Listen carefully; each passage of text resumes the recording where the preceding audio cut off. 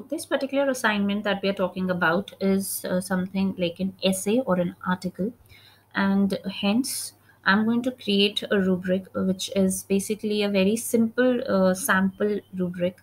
Of course when we uh, give our assignments to students we should really think upon how to formulate the rubric so that the student can understand it well and also can accordingly make his or her submissions.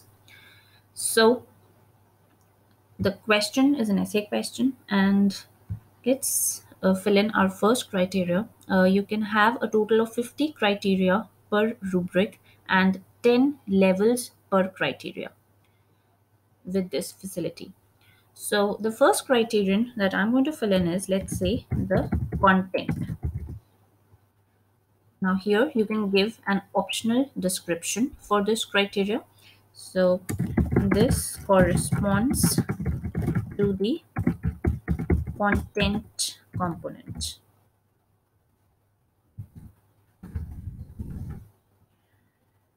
Now, after this, we are going to start creating levels for this criteria.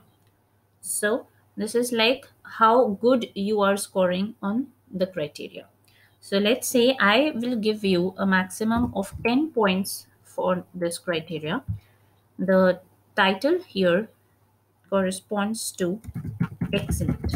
So if you did excellent on the content part, then I give you 10 points. After this, you provide a brief description of this level.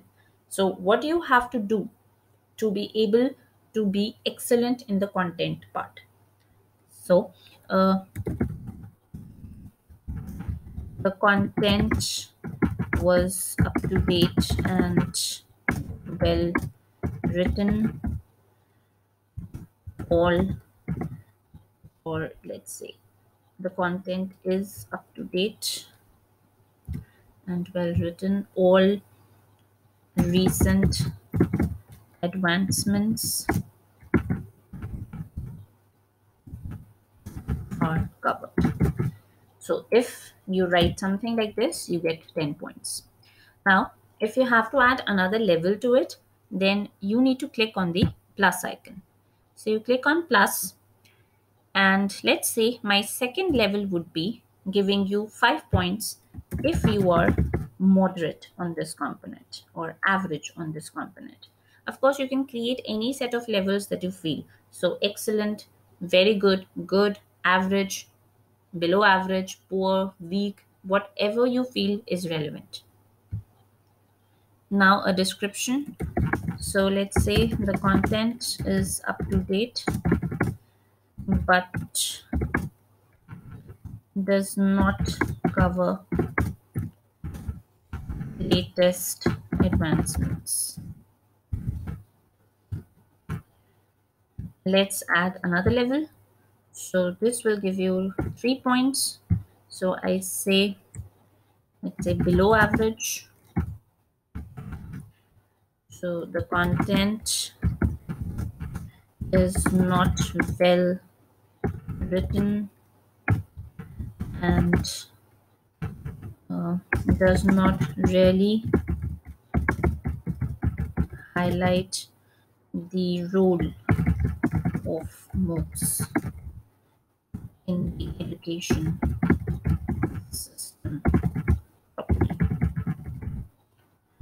Now, of course, this is just random and I would not call it a good rubric, but depending on the assignment that you give and uh, depending on your understanding or parameters of how the student should frame his or her answers, you should actually fill this in. You can add any more levels if you like by using this plus icon.